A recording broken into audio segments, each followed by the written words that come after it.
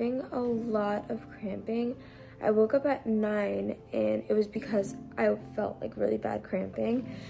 And my stomach was really hard last night. It was like getting really hard, but I just kind of thought those were like Braxton Hicks because I was able to kind of still like move around cool. So then 9 o'clock rolls around this morning and I'm getting such bad cramping to the point where like I have to like move and try to get myself comfortable again because it hurts so bad. And then now I normally wake up around 11 o'clock. I know it's super late, but that's just how my body's been feeling. And I just cannot stay in bed. I feel like I'm cramping up so bad and it hurts really, really bad.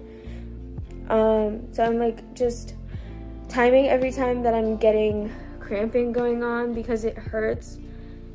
But it only like happens for like a quick couple, like a minute or so.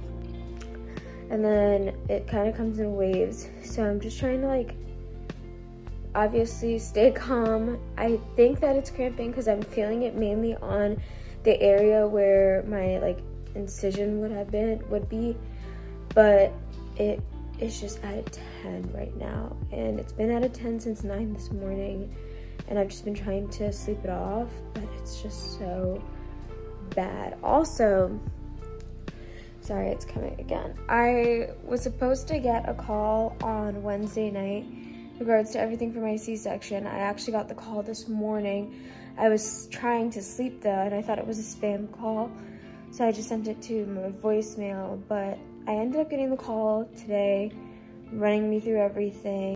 That one was brutal. I had to walk around for a little bit, but um, yeah, I'm like kind of in disbelief right now because I am in so much pain. But I don't know. I'm just like I try, I, I'm trying to downplay it, but it's really getting to me now. Like I'm in like a lot of pain on my pelvis area, so I don't think, I don't know. I don't want to go to the hospital because I don't want for them to just like discharge and in reality like it was stuff that like I could have done at home like just take Tylenol or something but the only thing that throws it off too is like the doctor said don't take medicine before you go in and say my water breaks and I took a Tylenol, then like I'm gonna freak, freak out. So yeah. Anyways, I'm just gonna keep you guys in the loop. Today is a weird day already. We're starting off funky, but yeah, I don't feel, something doesn't feel right. And that's what's kind of like scaring me. But maybe I just need to keep walking around for a little bit and ideally, I wanted to wait until my water breaks to like start doing everything. But if my pain keeps going up like this, then there's no way I'm waiting for my water to break. Like, yeah. Yeah. Anyway, I'll keep you guys in the loop. Okay, we have dramatically updated drastically. So my contractions got worse. I was getting them like 10, 15, it started off at 20 minutes apart. And then now it's coming closer and closer. And at 20 minutes, like I literally woke up Josh because I was going back and forth with like, what if this is not gonna happen today? Like, what if I'm just like, just cramping?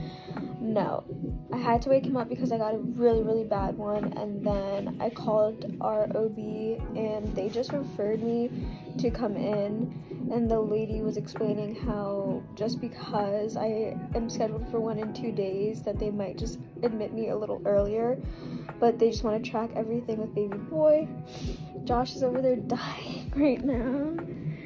I feel like we're actually in the same exact room that we were when we filmed Esme's video. You guys didn't see that because that clip kind of had to get demolished when um they got really busy and then we couldn't give birth to her on the first night that she was really scheduled for. Right now they're coming in 10 minutes apart and they're so um, unbearably painful. So when I have this little time, I'm trying to like utilize it to like really try and record and update you guys. But yeah, I'm all monitored up. Vinny, shout out to Vinny. Vinny brought, Vinny came and was able to get us Alrighty, I was just checked and now I'm at a three centimeters, which is so crazy.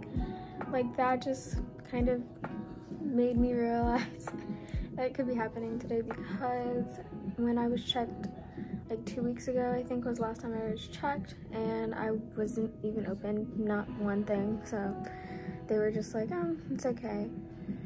And then now I am three centimeters and I feel like that's literally happening like from this morning because I'm in so much pain. The doctor did say that on the monitor, it actually comes a lot quicker that I just probably don't feel them, the ones that are in between the 10 minutes. And yeah, Josh went down. I'm sorry, my doctors just came in again. I literally love the staff here. They remember me from when we had Esme in 2022 and they're like so excited to see Josh and I back. I love them so much. They're so cute. Um, but yeah, I, where was I finishing at? Oh, Josh is downstairs. He actually has allergies right now. So he went to go get a Zyrtec so that he's not like all funny when we're in the surgical room and then I'm gonna get checked in two hours. Unless anything progresses, then yeah. My phlebotomist came in, she's so sweet. She was like, Storm, I remember you. And then when they were talking, um, the doctor was like, we may be doing this today. And then she was like, well, let me know and I can just poke her and we can get her all set. So, still able to talk. We're doing good. Um, but there have been some pretty scary moments throughout these past couple hours. It's 5.44? It's 5.44 and I've been cramping throughout the time. So then they just checked me again. I'm at like three and a half, close to four for my cervix. So then, and they just swapped doctors, like um, the staff. So she said that they definitely are gonna get me officially admitted now that I am at the four and just yeah they just wanted to see if it was going to progress or if i was just gonna get stuck at like the three and like maybe like he's just opening up. But yeah now we at least know that we're officially going in tonight